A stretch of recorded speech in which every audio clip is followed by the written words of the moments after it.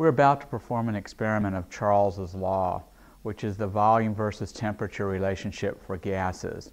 We will be operating at a constant pressure of atmospheric pressure.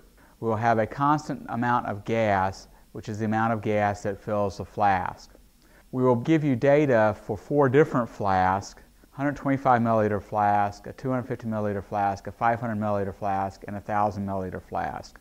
We will take the 125 milliliter flask and place it in a boiling water bath.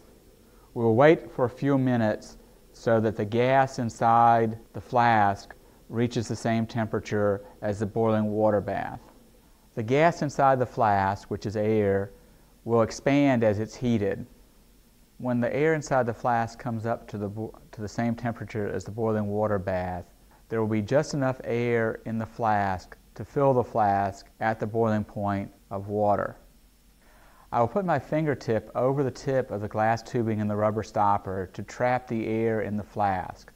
I will then quickly invert the flask in the tank of water and allow the gas to cool.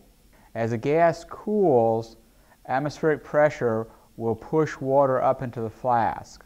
Eventually, the air in the flask will come to the same temperature as the temperature in the large water bath.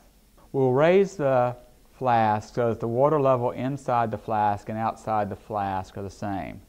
This means that the total pressure in the flask will be the same as atmospheric pressure. I will now put my finger back over the tip of the stopper and remove the flask from the tank.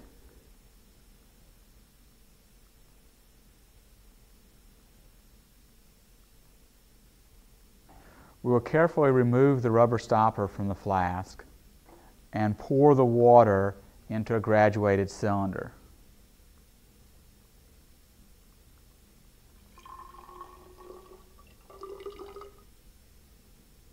The volume of the water in the cylinder is 26.5 milliliters. We will now fill the flask completely with water.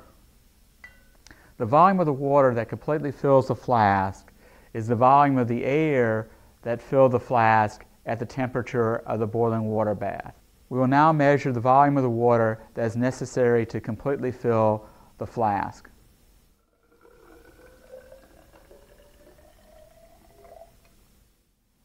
The volume is 138 milliliters.